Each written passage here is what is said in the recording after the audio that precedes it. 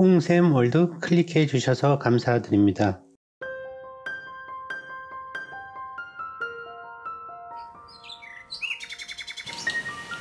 사람을 움직이는 황금 비결 30분 유철수 상대에게 즐거움과 이익을 주어라. 상대방이 원하는 것을 해 주어라. 상대의 흥미를 유발하라. 웃음 띤 얼굴로 상대하라. 상대방의 입장에서 들어주라. 자기 잘못을 인정하라. 먼저 진심으로 칭찬하라. 명령조로 말하지 말라. 격려를 아끼지 말라. 상대의 잘못을 지적하지 말라. 상대에게 중요감을 갖도록 하라. 항상 친절함과 서비스를 베풀어라. 상대방의 관점에서 생각하고 이해하라. 이름을 기억하라. 순수하고 진지하게 관심을 가져라. 신뢰받을 가치가 있도록 행동하라.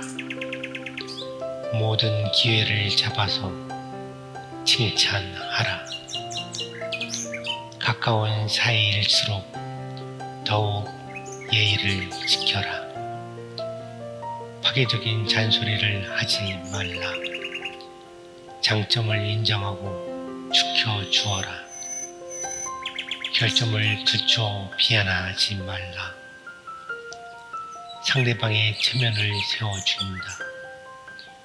최고의 이미지를 연출하라. 이해하기 쉬운 말부터 하라.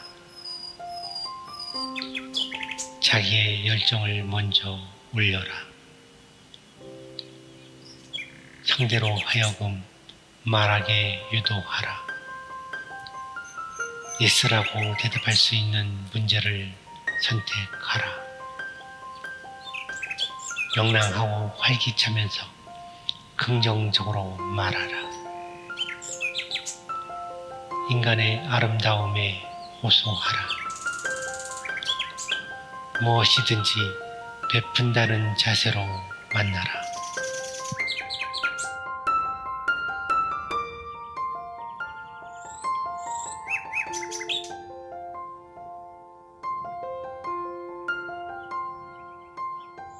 다음 부분은 여러분이 직접 마음으로 읽어보는 시간입니다. 자막만 나가고 낭독은 여러분이 직접